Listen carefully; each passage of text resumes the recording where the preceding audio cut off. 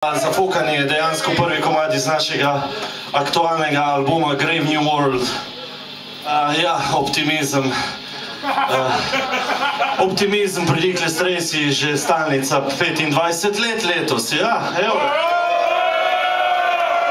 Pol life sem v tem bendu, kam imamo tega, kurac od ovce. Brata, ki se ga ne morem losati. Ne, da bi se ga hotel. Ja, zjamran. Udajem za vse, ki ste pod 30 let, mi smo Dikle Stresi iz uh, Ljubljane, Idrije, Velenja, Brežic in tako dalje in tako bliže. Vse, ko imate... Sto let. Vse, ko imate tako isto z nove plate, but aren't they all? Ko imate se imenuje Dawn of the Living Dead.